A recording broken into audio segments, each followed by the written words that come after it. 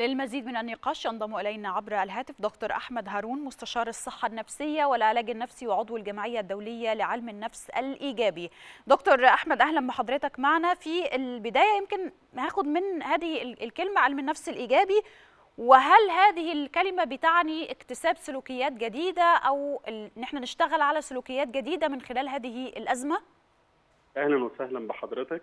طبعا هو فعلا إحنا محتاجين دلوقتي نركز على السلوكيات الإيجابية لأن مضاهاة أو مجابهة هذا الفيروس مش المفروض إن هي تكون بالتباعد الاجتماعي بقدر ما نحولها للتباعد الجسدي. يعني لو بصينا كده لمجموعة كبيرة من دول العالم ابتدت دلوقتي في رفع الحظر التدريجي علشان خاطر تراهن على وعي المواطن بشكل فردي وزي ما حصل عندنا هنا في مصر إن الدولة قدمت كتير من الإجراءات الاحترازية وكتير من الناس متابعة إيه اللي بيحصل ولكن المسؤولية الفردية هي أساس أي مسؤولية مجتمعية ممكن تتم. بناء عليه لما بنيجي نشوف سلوكيات الأفراد هنلاقي اللي بيحكمهم مجموعة من الأفكار للأسف بتتلخص في شوية أخطاء تفكير. زي التهويل مثلا حاجة اسمها الماكسمايزيشن إن الناس تفتكر إن الإصابة بالفيروس هي نهاية العالم وإن ارتفاع عدد الإصابات هو آخر حاجة ممكن نقف عليها.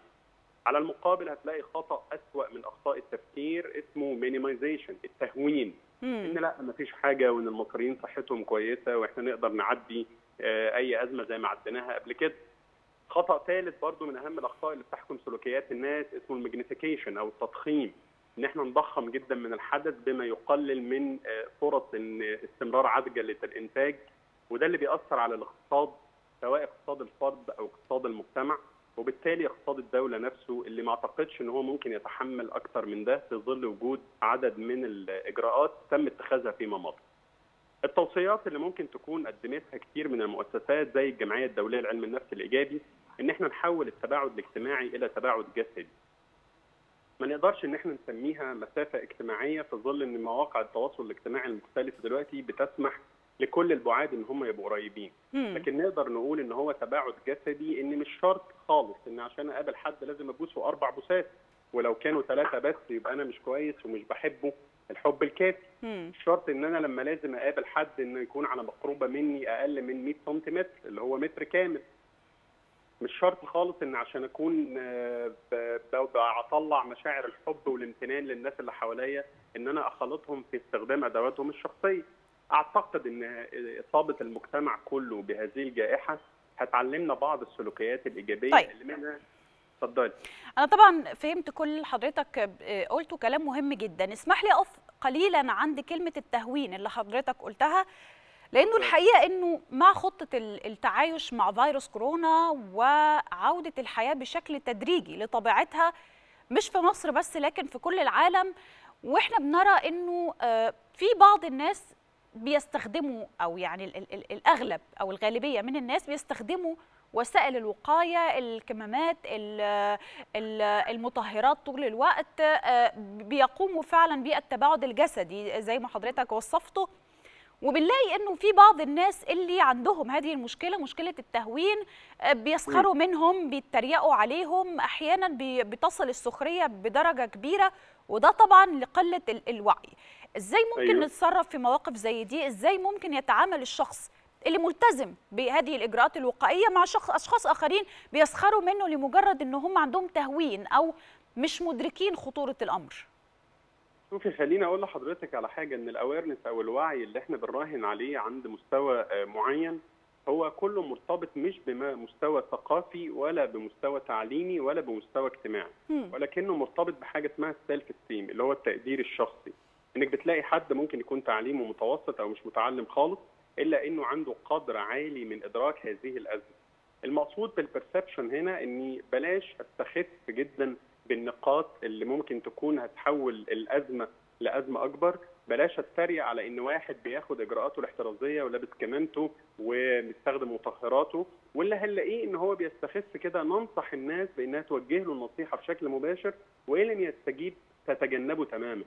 تتجنب إن هي تبقى على اختلاط مباشر بيه حماية لنفسها تتجنب إن هي تبقى على استجابة لكل التريقة بتاعته حماية لسلوكها تتجنب إن هي تديله مساحة من الاهتمام علشان خاطر نميت الباطل بالسكوت عنه.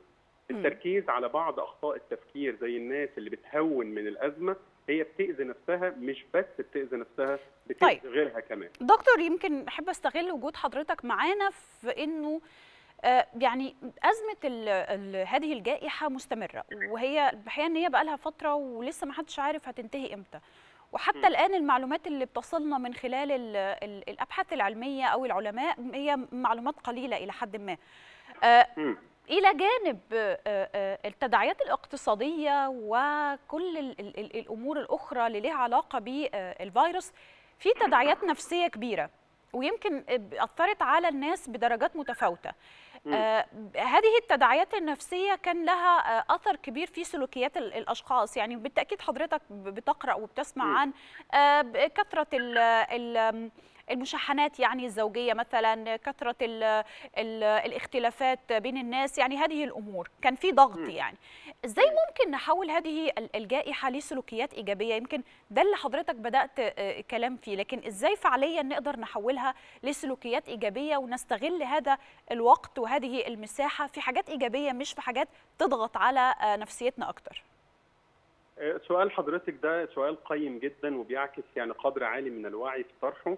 خليني أقول لحضرتك إن هو بيحمل شقين. الشق الأول هو انخفاض مستوى المناعة النفسية عند الناس مم. المناعة النفسية هي المقصود بيها آه، آه، بعض ال- الناس ابتدى يظهر عندهم درجة عالية من التوتر مستوى عالي من القلق بعض المزاج الاكتئابي شوية من اضطرابات النوم وشوية من اضطرابات الأكل. يمكن في برنامج أنا كنت عامله آه، برنامج يعني برنامج علاج اسمه المناعة النفسية وحماية الذات اللي هو psychological immunity and self protection المقصود منه إنك ما تحسش بالضغط اللي قلل مستوى المناعة عند بعض الناس لما فحصناهم إن هو حاسس إنه محبوس غصب عنه.